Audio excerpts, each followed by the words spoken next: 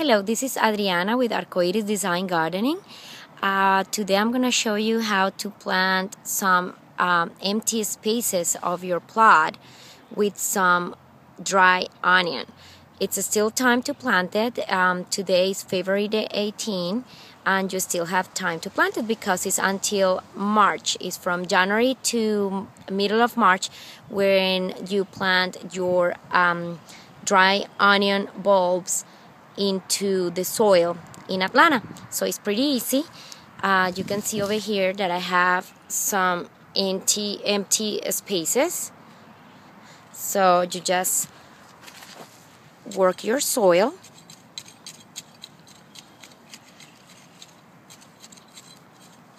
So easy.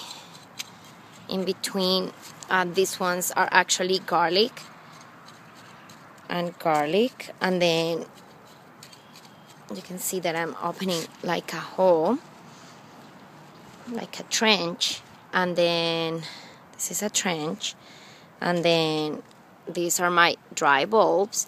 So I'm gonna plant them like this. The tiny tip goes up. The root system will grow down over here. So this is the way I plant them so I'm gonna plant three over here and then when I'm finished I'm gonna plant the other two over here. So pretty easy you just cover this water through and then wait for the onions to be ready. Um, you know when they're ready when they bloom and then they're ready to pick up. Bye